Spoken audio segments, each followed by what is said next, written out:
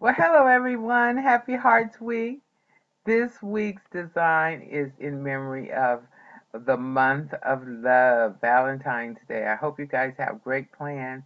And if you don't, you know what? Celebrate with yourself. You can paint with me. Pull out this video and paint your nails.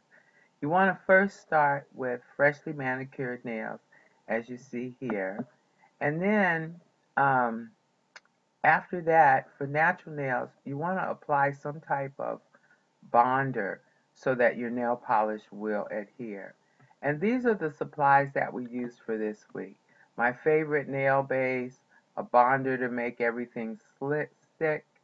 Oops, well it went a little fast. Then you want to make sure that you paint three of your nails with your solid color, which was the pink red, and then two of your white. Next, you want to paint on your roses and your hearts. Then you want to put some type of cuticle oil. I chose to use our Emu oil by Total Life Changes. Um, it brings me relief. Next, um, I went ahead and, you know, I want to put a ring on it. So I made the ring, the base. And I just wanted to make sure and compare it to the um, design that we have here. I put some stones here. You can hardly see the stones in the ring, just a few.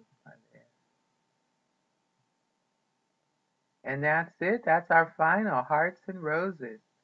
So I hope you celebrate this weekend on Sunday with many hearts and get lots of roses.